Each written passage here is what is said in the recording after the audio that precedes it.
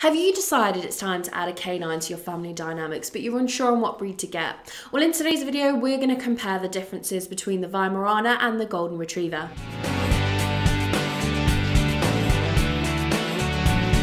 Welcome back to the Fenrir Weimaraner Show. If this is your first time here, my name's Charlie and I'm a certified canine leader here at FenrirCanineLeaders.com.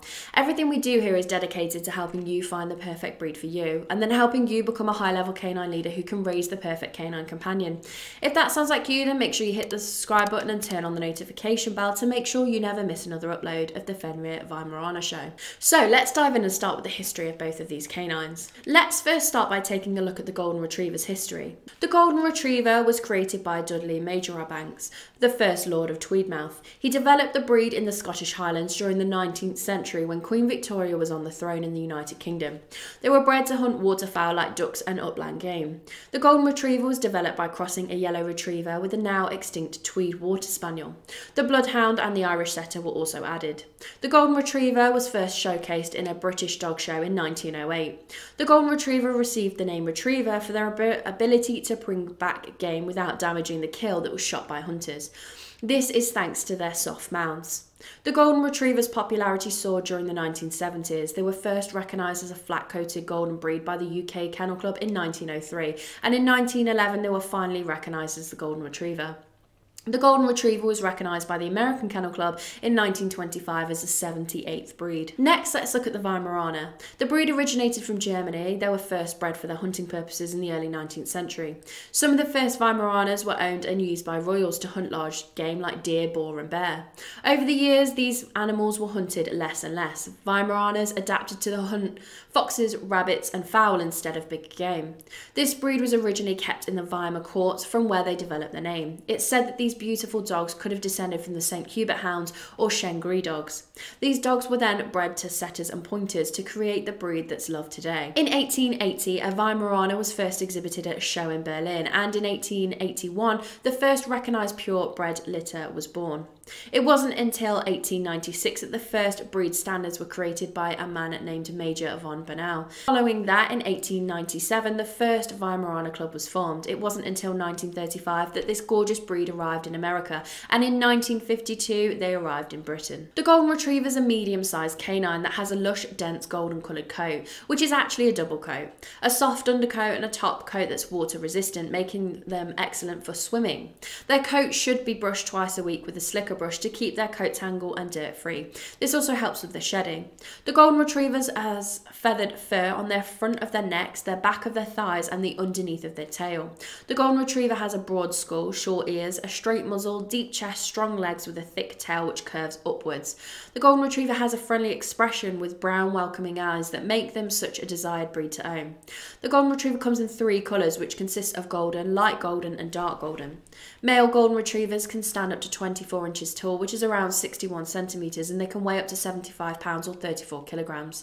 Females stand up to 22 and a half inches, which is around 57 centimetres, and they can weigh up to 65 pounds or 30 kilograms. The Weimaraner is a medium to large sized breed that has an athletic muscular appearance that's affectionately known as the grey ghost because of the coat colour of mouse grey, silver grey or silver. As puppies they're born with dark stripes which disappear a few days after they're born. Their coat is short and only requires a quick brush each week to keep it looking fresh and clean. There are longer haired versions of the breed, however, while recognised by most kennel clubs, they're not recognised everywhere, including the American Kennel Club. The longer haired breed does need brushing more often to keep their hair tangle free. Weimaraners have long heads, long ears that are set high on the head. They have strong necks and strong legs. Weimaraners originally had docked tails, but docking's now illegal in many countries, so you'll now mostly see their narrow, slim tail. Weimaraners stand up to a height of 28 inches or 71 centimetres at the withers and weigh up to 88 pounds or 40 kilograms. Females are a little smaller and usually stand up to 26 inches or 66 centimetres and weigh up to 77 pounds or 35 kilograms. The Golden Retriever is a very intelligent canine that loves to please their owners. This makes them quick learners and they thrive in obedience and manners training. The Golden Retriever is a loyal and loving breed which makes them very popular. However, they still require plenty of socialisation to the outside world from puppyhood to ensure they become a confident confident canine. You should socialise them to different sights, sounds, smells, and people during the first 16 weeks of their lives to get them comfortable with being outside of the home. The Golden Retrievers are very trustworthy breed, so it's crucial that you show them that you are the canine leader, so they'll look to you for direction. They'll have an excellent temperament, they're kind and friendly, and suit the needs of most canine owners. They're not shy of strangers and will greet everyone with a smile and a wagging tail. The Golden Retrievers are high energy canine. They need over an hour of exercise a day when they're fully grown, otherwise, they'll get bored and turn to bad behaviours like chewing, digging, barking, destructive behaviour, and anxious pacing. The Golden Retriever excels in dog sports like agility, obedience, and hunting and field trials. These sports are a great way to channel their energy and will also strengthen the bond between you and your Golden Retriever. This breed is naturally mouthy and will love to hold things in their mouths like toys, balls, socks, and anything else that'll fit. The Weimaraner is a lively and energetic breed who need owners that can keep up with their athletic needs. They need around two hours of exercise a day and will happily join you in a range of different activities like running, hiking, or bike riding. They are an incredible affectionate breed who'll be stuck to you almost 24 7. This trait is why they're sometimes referred to as a Velcro dog. As well as a couple of hours of exercise a day, they also need the chance to really stretch their legs two to three times a week with a good run in a well fenced and secure backyard or by letting them loose on fields when they're out for a walk. Just make sure that your Weimaraner has an impeccable recall before letting them off the lead whilst away from home. The Weimaraner is sometimes referred to as a dog with a human brain. It's due to their high level of intelligence. This high intelligence means they're easy to train in manners, obedience, and in toilet training. Positive reinforcement's essential when training your Weimaraner as they don't respond well to harsh punishments or shouting.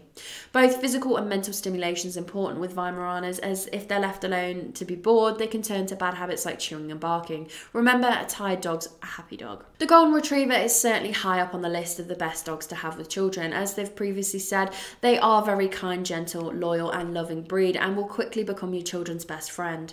The Golden Retriever is not phased by children making loud noises or playing rough. Just be careful around small children as the Golden Retriever is a medium to large breed that could easily knock over children. Children should still be taught not to do things like pull your canine's ears or tail or grab them, and they should also be taught never to take food off your dog as this can lead to resource guarding, which is an unwanted behaviour. The Golden Retriever treats other animals the same as it does people. The breed loves to be around with other dogs. With proper socialisation, they should be fine with other animals like cats, small domestic pets, and outdoor animals. It's still advised, however, to never leave any children or pets unsupervised as every canine does have some sort of prey drive and accidents can happen. Weimaraners are extremely loyal breed to their owners and they can sometimes take time to warm up to visitors. They enjoy being around children as this means they'll get extra playtimes. However, be careful with small children as Weimaraners are large dogs and can accidentally knock them over. It's also important to teach any children how to treat your Weimaraner and when to leave them alone. There should be no issues with your Weimaraner living with other dogs or pets, especially if you put the time and effort into try and socialising your dog to different situations. This will make them feel more relaxed when out on walks and will help them become a well-rounded dog. But bear in mind they do have a high prey drive due to their ancestry of being a hunting dog. If not properly socialised, they can clash with other dogs and animals. You'll find that your Weimaraner won't actively approach other dogs when they're out on walks. They'll happily stay with you and assess the situation first. Both the Golden Retriever and the Weimaraner are loyal, loving breeds who make brilliant companions for the whole family. They're both high energy dogs who love plenty of exercise and mental stimulation to keep them happy. If you can give these breeds the time and attention they deserve, you'll be rewarded with a beautiful, fun loving family companion. Well, I hope you enjoyed today's video. If so, make sure you hit that like button and get involved down in the comments section below. And don't forget, if you are new here, to make sure you subscribe. We have three dedicated Weimaraner videos coming here every single week. So I can't wait to talk to you again on the next episode of the Fenrir Weimaraner Show.